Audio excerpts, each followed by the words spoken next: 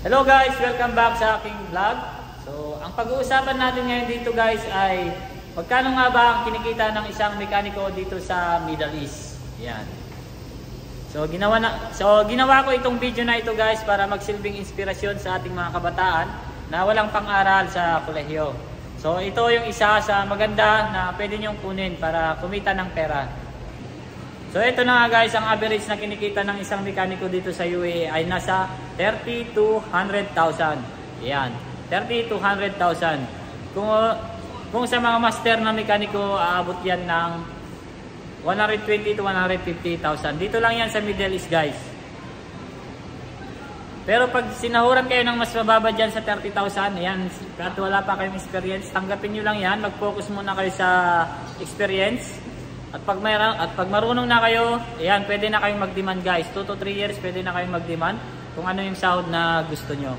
So kayo ang boss dito guys, kayo ang boss. Hindi kayo mawawalan ng trabaho as mekaniko. Maraming trabaho hindi nawawalan. At uh, hindi man yan guys dito sa abroad. At kahit dyan sa Pilipinas, at kung marunong na kayo, pwede na rin kayong magnegosyo. Diyan, pwede kayong gumawa ng talyer. So marami, maraming nagagawa ang pagiging isang mekaniko guys. So maliban guys sa sahod, meron din may, sa mga dealership, sa mga nagtatrabaho ng dealership, alam yan. At sa mga malalaking workshop, meron binibigay yan na incentives. So yung incentive ay iba pa yan sa sahod. So ibang pag-uusapan natin yan sa susunod na video kung magkano ang average na kinukuha na incentive ng isang mekaniko. So ito guys, nagre-resign na ako sa trabaho dahil uh, nagkaroon tayo ng pagkakataon na makapagtrabaho sa ibang bansa. Ayan. So, i-update ko rin kayo dyan kung saan bansa tayo pupunta at mag, kung magkano ang kikitain natin doon. So, ito guys, ang trabaho ko lang dito as mekaniko ay nasa PDI area ako. So, ang ginagawa lang namin ay chinecheck namin yung sasakyan bago i-deliver sa mga iba't ibang brands. Ayan. Bago ibigay sa customer, kailangan walang sira, walang gas-gas at kondisyon yung sasakyan. So ito yung ginagawa namin dito guys. So ito na nga guys, ipapakita ko sa inyo yung ginagawa namin dito. So napakasimple lang. So ito ay bagong sasakyan. So yung gagawin natin dito ay i-check lang natin, i-full check natin sa loob sa labas. Kung may mga sira, gas-gas. Yan. At siguraduhin lang natin na lahat ng mga button ay gumagana, lahat operational. Tapos yung mga leather dapat walang gas-gas. Yan. Yan. Napakasimple lang guys. So isipin mo yon ganun lang yung trabaho mo tapos sumasahod ka na ng average, nasa average. So panalo na. So yan. Check lang natin bawat gilid, bawat sulok. Ayan, kailangan ma-check 'yan. Para pag uh, tanggap ng customer yung sasakyan ay masaya siya. Ayan. Sa atin kasi guys, ang mentality ng mga tao, ang pagiging mekaniko ay karamihan na mentality ng mga tao, ang pagiging mekaniko ay madumi. So, totoo yan guys, madumi sa una pag nagpa-practice pa lang.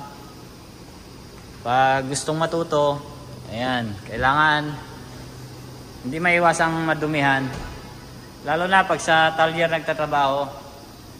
Pero pag nakahanap na kayo ng magandang trabaho, ayan, gaya ng mga dealer, dealership, hindi na kayo madudumihan yan. Kasi bawal din yan, bawal yung madumi na nagtatrabaho. Nakakasira yan sa imahe ng kumpanya din.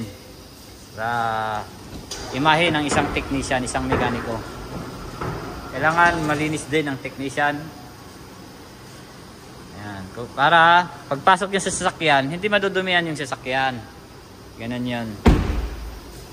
So, ganun lang guys. Pag dito naman sa harap, i-check lang natin yung tubig. Ayan. Kailangan kompleto ang tubig. Yan. Walang sira, walang leak, walang tagas.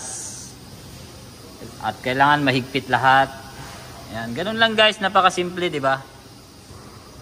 Yan. So, iba-iba. Iba-ibang area kung ang pagiging mekan mekaniko ay iba-iba. So, maraming area yan. So,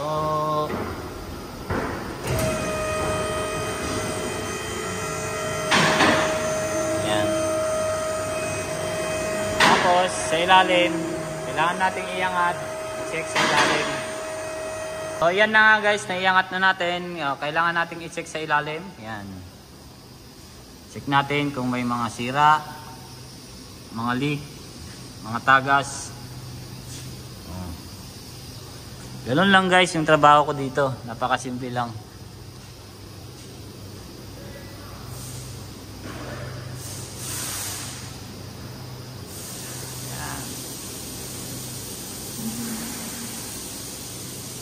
Tapos kailangan natin yung mga gulong nasa tamang tire pressure.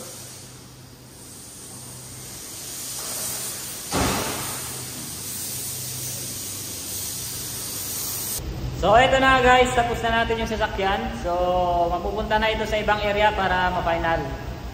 So bawat bawat sasakyan na matapos natin, meron tayong matatanggap na pera. Yan, yung sinasabi nilang incentive. So sa susunod na video natin guys, pag-uusapan natin kung magkano ang incentive na nakukuha ng isang mekaniko. So yan guys, hanggang dito na lang. Thank you for watching. Bye-bye.